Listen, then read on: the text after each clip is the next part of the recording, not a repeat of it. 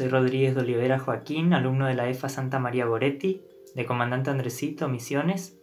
El año pasado cursé el cuarto año y obtuve un promedio 997, con el cual fui ganador de la beca de 35 mil pesos en la categoría Agrotécnicas y EFAS de la provincia.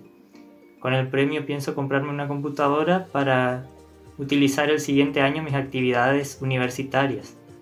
Mis consejos para los estudiantes es que sigan esforzándose para poder lograr todas sus metas, todos sus sueños y todos sus objetivos.